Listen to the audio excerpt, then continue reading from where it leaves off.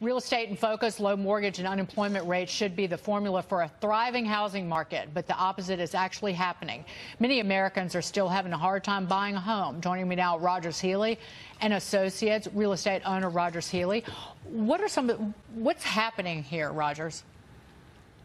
Well, I mean, first of all, it's not it's not having a negative effect on the real estate market. It's got people talking again.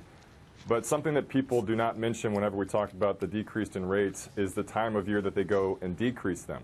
And so obviously the job market is continuing to thrive. People are still really happy in America, but the wages have not caught up yet with the prices of these properties. And on top of that, something that never gets mentioned are the cycles of leases. People normally renew their leases in March, April, May, and June. So if rates are lowered in August or late July, they've kind of missed the boat. So it's not necessarily a bad thing. It gets people talking, but a quarter of a point dip is not going to go change the real estate market and get everybody off the couch and ready to go make a move. Rogers, good morning. Mitch Roschelle. One of the things uh, we've observed is that it seems like the I want to rent versus buy is somewhat secular as opposed to cyclical. What you were just talking about seems cyclical, and it seems as though it's secular yeah. that we just don't want to own a home. We're just happy to rent. Is that something you're observing as well?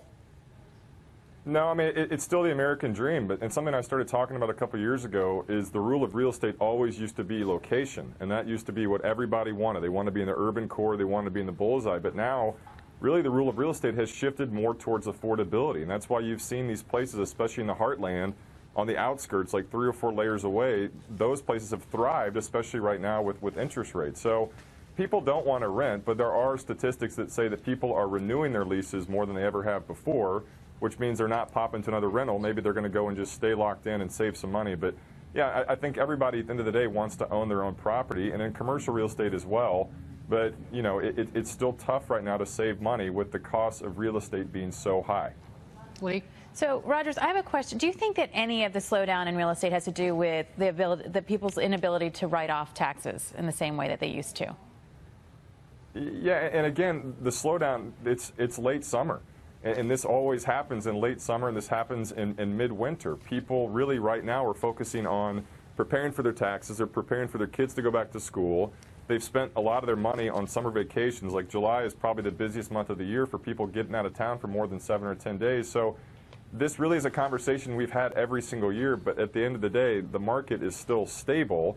It's just not as busy as it is in a, in a traditional spring market. Rogers, good to see you. Thank you, sir. Come back soon, Rogers Thank Healy. you all. Have a good day. Bye-bye.